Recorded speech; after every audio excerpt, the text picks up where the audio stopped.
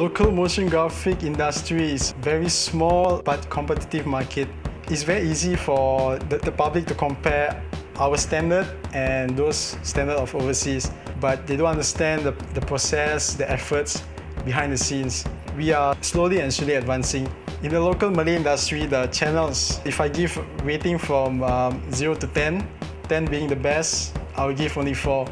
Even uncles and aunties from home, they see, okay, this is okay, but when it switch to another channel, they feel like the local Malay industry channel is, is cheap.